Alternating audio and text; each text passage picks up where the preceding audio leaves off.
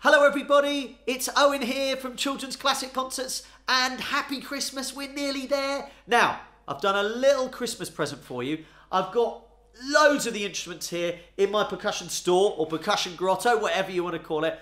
And I've done a little tune for you so you can sing along and dance along wherever you're going to watch this. And imagine you're at one of our concerts enjoying live music. So, remember that. I want to see people singing on the bus, dancing in the street, watching this random little Christmas medley and enjoying a little bit of music. So, I hope you enjoy it and we hope to see you in the new year for some more live music. Happy Christmas!